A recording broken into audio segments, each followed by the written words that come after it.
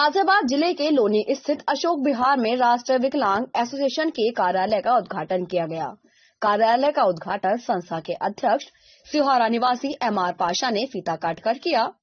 इस दौरान M R Pasha ने कहा कि हमारा एसोसिएशन पूरे भारतवर्ष में चल रहा है।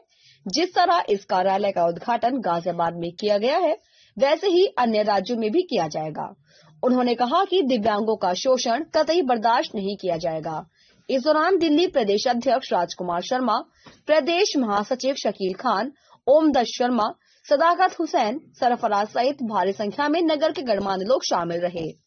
सिहारा से नज़र सिद्दीकी की रिपोर्ट।